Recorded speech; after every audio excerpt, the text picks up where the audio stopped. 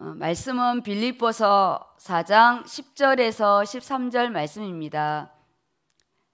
빌립보서 4장 10절에서 13절 말씀 우리 모두 함께 합독하겠습니다.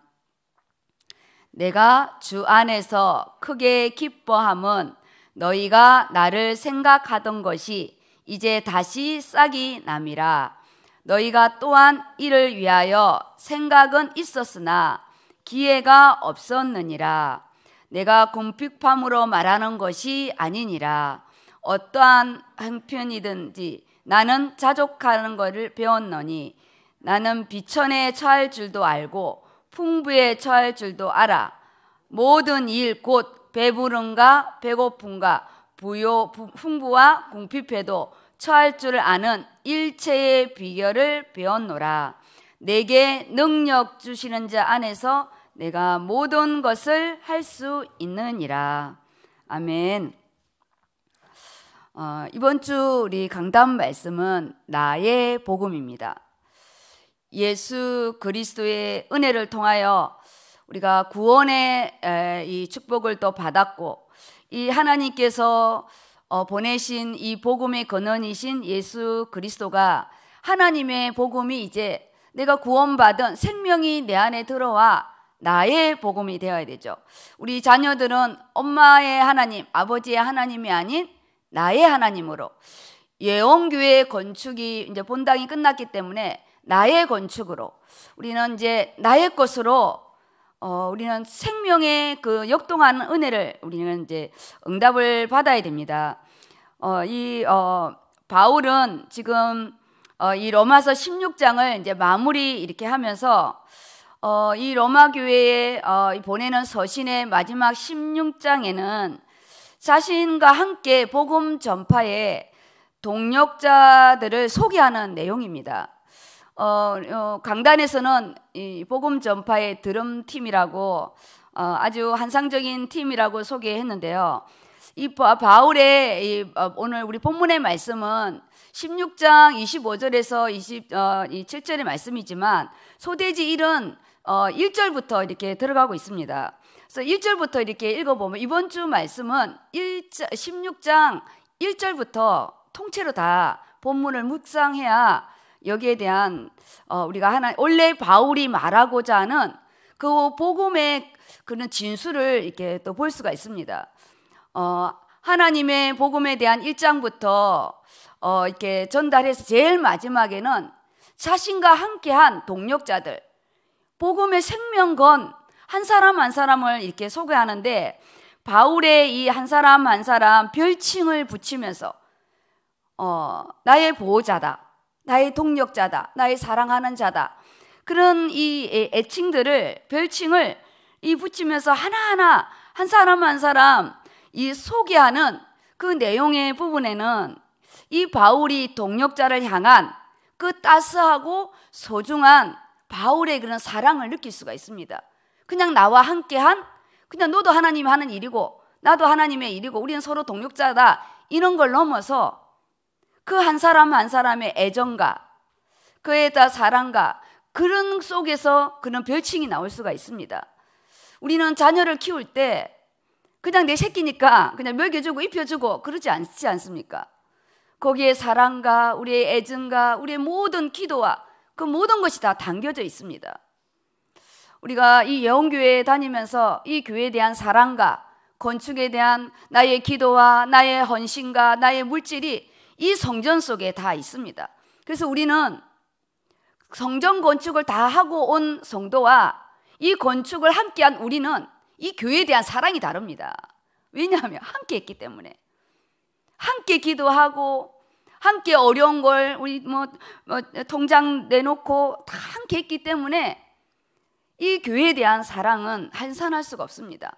로마서 16장에 바울이 이 이름을 거명한 데는요, 바울의 사랑과 그리스도에 대한 그 하나님의 복음이 그 한 사람 한 사람 녹여져 있습니다.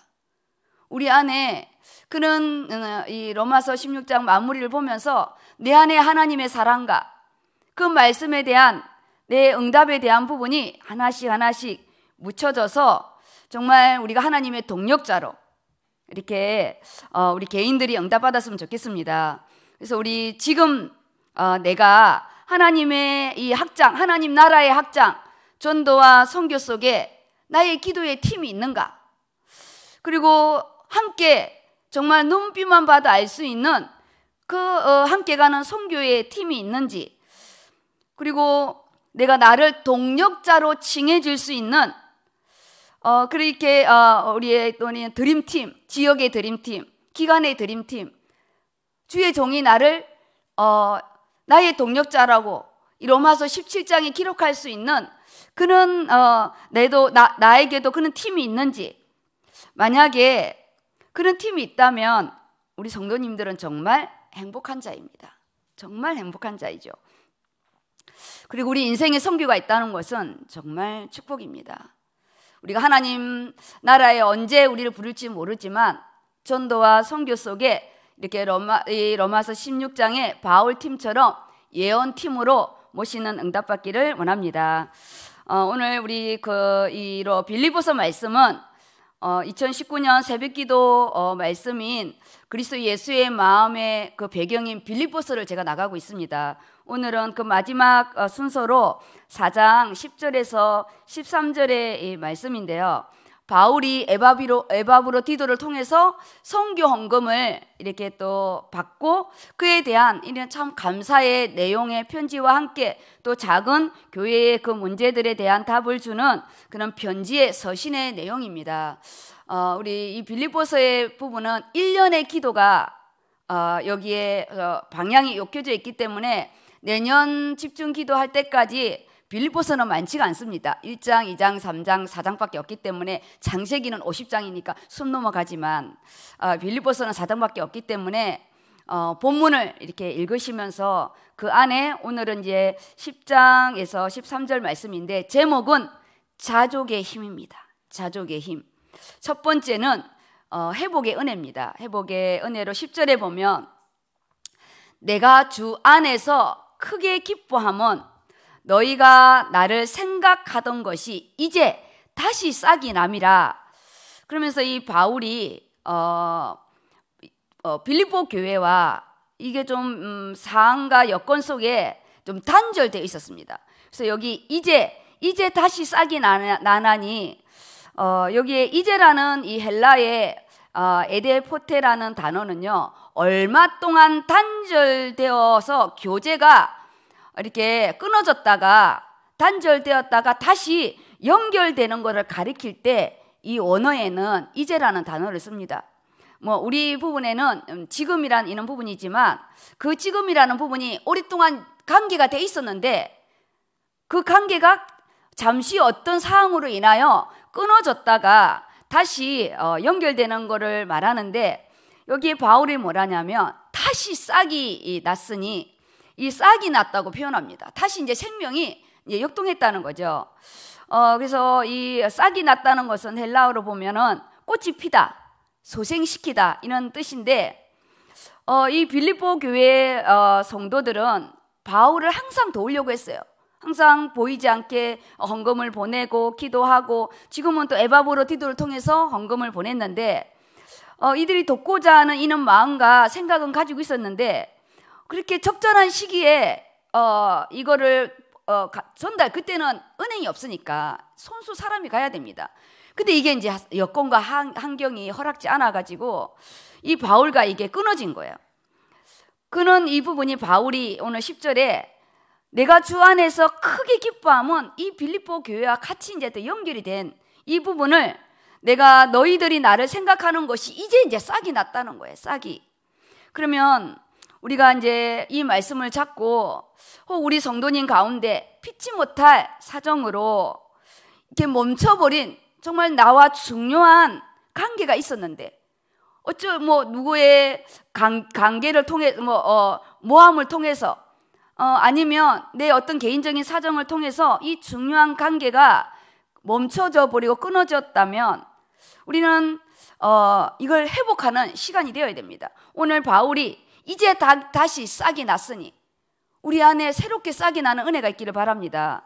의도치 않는 상황과 여건으로 어, 주의 일이 내가 준 직분이 끊어졌고 또 오랫동안 어, 어, 내게 준 이 부분이 내가 또 경제적인 여건 때문에 혹 이게 단절되어 있었다면 그것이 그래서 항상 내게 마음의 짐으로 남아 있었다면 다시 싹이 나게 하는 회복의 은혜가 있기를 바랍니다. 그래서 제가 소대지 1이 회복의 은혜입니다. 회복의 은혜. 회복의 은혜죠. 원래 있었는데 끊어진 상태. 우리는 어, 이 바, 바울과 빌립보 교회가 바울이 개척한 교회잖아요. 여기에 어, 마게도냐 첫 성에 로마서 어, 아, 사도행전 16장에 어, 이 개척한 누디아를 통해서 개척한 이 교회가 다시 바울과 이렇게 회복되면서 바울이 정말 기뻐했습니다. 우리 단절되었던 우리 개개인의 크고 작은 이 부분이 회복되어서 하나님의 기뻐하심 있기를 바랍니다. 정말 바울이 기뻐했거든요. 너무나 기뻐하고 그 기쁨은 이미 바, 이 바울과 이, 이 빌립보 교회의 이 관계였어요. 그냥 돈을 갖다 줘서 기쁜 게 아닙니다. 전도자들은요, 돈을 주기 때문에 기쁜 게 아닙니다. 그 전도 어, 개척해서 세운 교회와 이 어, 주의 종과 성도들이 서로 하나로 이 된 부분이 이 기뻐하는 거거든요. 그래서 정말 다시 싹이 나는, 나는 예수 그리스도로 인하여 회복의 은혜가 이제 하반기잖아요. 사사분기. 이 하반기에 어, 우리가 또 내 인생 전체를 생각하고 내년이면 2020년도가 시작됩니다. 우리 또 10년대를 마무리하면서 정말 어, 뭐, 이거 우리가 준 기회를 내가 미루게 되면 40년을 돌게 되고 어, 우리는 너무나 많은 시간을 낭비하기 때문에 강단의 말씀이 떨어졌을 때 이 바울이 이제 다시 싹이 났다고 각자의 정말 예수 그리스도로 싹이 나는 회복의 은혜가 있기를 바랍니다. 두 번째는 자족의 비밀입니다. 자족의 비밀. 11절에 보게 되면요. 내가 궁핍함으로 말하는 것이 아니니라. 어떠한 행편이든지 나는 자족하기를 배웠노니. 어, 이 바울이 복음을 전하면서 정말 어려운 어, 힘든 일이 많았습니다. 어, 유대인들의 어, 폭행과 어, 이, 또 이렇게 어, 사람을 사가지고 어, 얼마나 많은 이렇게 죽을 만큼 맞고 어, 공경에 빠진 처할 때가 한두 번이 아니었는데 바울은 이런 사항들이 자신의 공핍함이라 생각하지 않습니다. 배고픔, 추위, 이것이 배고픔이 아니에요. 우리는 복음에 있는 걸 떠나게 되면 지금 일시적인 배고픔, 그리고 우리의 이런 추위, 우리가 공고한 데 빠지고 상황이 어려워지면 우리는 하나님의 계획이고 뭐고 눈에 들어오지 않고 어떻게 하나님 나한테 이럴 수가 있습니까? 우리는 상황 속의 모든 부분이 다 파묻히는데 바울은 내가 어떠한 형편에 있든지 간에 내가 이 자족한 걸 배웠대요. 이게 공부하듯이 배운 게 아닙니다. 우리 표현, 표현은, 어, 이, 배웠다지만, 바울은 그 어떠한 상황에도요, 그것을 얻게 해달라고 결받기도 하지 않았어요.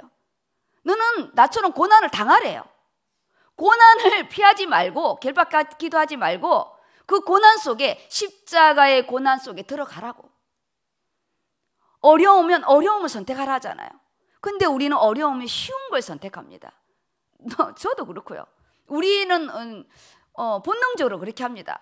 말씀과 기도와 하나님의 이 뜻과 계획을 모르게 되면 우리는 언제나 나를 향해서 오게 되죠. 하나님을 계획을 향해서 나가야 되는데 바울은 나는 이방인을 향하여 이방인 선교사로 어, 자기가 하나님이 부르심을 받았다는 이 사명을 놓치지 않고 언제나 자기는 이 육신적인 서론적인 것이 중요한 관심이거나 문제가 아니었습니다. 그래서 자기는 여기에 어떠한 부분에서도 자기 자족하는 걸 배웠대요. 서론에 빠지지 않았다는 거죠. 이런 전도자와 우리 동력자가 있으면 얼마나 좋겠습니까? 우리가 안 되기 때문에 오늘 또 이렇게 새벽기도 나와서 말씀을 듣고 자족하기를 원합니다. 어, 이 바울은 내가 이 자족하는 힘, 어, 이걸 헬라어로 아우타르케스라 이렇게 하는데요. 여기는 신약 성경에 이 절에만 여기에만 기록되어 있습니다. 이 자족한다는 바울만 쓴 표현이라는 거죠. 이 자족하는 은혜. 어, 그래서 그 당시에 어, 이그 여기서는 문자를 쓰면 안 되는데 어쨌든 그 당시의 문화적인 배경을 보면 이 스토아 철학에서 이 자족하다는 단어를 많이 썼어요. 그게 뭐냐면 인간이 이 윤리 이 윤리적인 좀 단어인데 인간이 막 노력해도 안 되는 어떠한 그런 어, 어, 변경할 수 없는 그런 음, 불강력적인 상황에 탁 대했을 때 사람들은 좌절하거나 낙심하잖아요. 근데 이, 어, 이 스토아 철학자들은 그것을 하, 이 신의 뜻으로 생각하고 숙명적으로 운명적으로 이걸 받아들이고요 자족을 하는 거예요. 자족이 아니라 만족을 하는 거예요. 스스로 운명론적인 부분에 숙명적으로 다 이렇게 하면서 겉보기에는 되게 멋있게 살아가는 것 같지만 극한 인본주의의 그런 부분이거든요. 바울이 말하는 이 자족은 그 시대의 그런 자족이 아닙니다. 바울이 말하는 자족의 비밀은 그리스도로 말미암아 그의 죽으심과 그의 부활하심, 내가 죽고 내가 그와 함께 산 또 다른 생명의 역동함인 거예요. 내가 의지로 내가 막 살아야지 나의 그게 아니라 에이 뭐 내 힘을 안 되니까 그냥 뭐 여기에서 살아야 그게 아니라 이미 나는 그리스도로 말미암아 죽고 내가 예수 그리스도로 말미암아 다시 살아난 예수 생명 하늘의 힘으로 살아가는 거죠. 그래서 이 자족하는 색깔이 다릅니다. 우리 예수 믿는 우리가 불신자와 달라야 되죠. 이겨나가는 힘도 다르고 하나님의 계획과 뜻을 바라보는 영적인 시각도 다르고 우리는요 본질적으로 다릅니다. 아이 그냥 이거 지나면 뭐 좋은 날이 오겠지 그런 것이 아닙니다. 분명히 이 일에는 하나님 계획이 있고 내가 이 계획을 모른다면 내가 놓친 것이 있고 하나님께서 우리가 올해 사람의 마음에는 많은 계획이 있어도 오직 여호와의 뜻만이 온전히 서는 것처럼 여호와의 뜻을 나를 통해서 이루기 위해서 하나님이 이 일을 허락하신 거라. 그러면 우리는 십자가에 엎드리는 거죠. 하나님의 계획과 뜻. 그래서 이것이 고난이면 고난을 받아들이는 거예요. 이게 아픔이면 아픔을 내가 흔쾌히 받아들이는 거죠. 우리가 물에 빠졌을 때 수영 못하는 사람은 두려움이지만 수영하는 사람도요, 갑자기 물에 빠지게 되면 당황합니다. 그래서 허우적거리다가 물을 먹게 되고 발에 쥐가 내려서 운동을 잘하는 수영을 잘하는 사람도 물에 빠져 죽을 수 있어요. 접시물에 빠져 죽는다 하잖아요. 뭐 접시물에 어떻게 빠져 죽겠겠어요? 그만큼 우리는 어느 순간에 상황에 너무 놀래버리면 접시물에 빠져 죽는 거예요. 물에 빠졌다면 가만히 있으면 뜨는데 허우적거리다가 내 풀에 내가 빠지고 내 풀에 내가 어, 지가 내리는 거죠. 제가 우리가 이번에 3, 팔란 선교로 갔는데 마지막 날에 그 선교 끝나고요. 저희가 이 바닷가 1일 수영을 갔는데 제가 다이빙을 했어요. 다 깜짝 놀래더라고요. 어, 어떻게 다이빙을 하냐고. 그냥 이렇게 탁 하고 싶었는데 이런 다이빙 말고 그냥 이렇게 코 잡고 탁 떨어뜨리는 다이빙을 했어요. 근데 저희가 바닷가 사람입니다. 어릴 때 바닷가에서 저희가 이게 컸기 때문에 그냥 이 다이빙하고 뭐 하는 거는 두렵지가 않아요. 근데 저희 그 어, 홍석희 우리 또 시사님이 깜짝 놀래더라고요. 어떻게 이렇게 다이빙 할 줄 아냐고.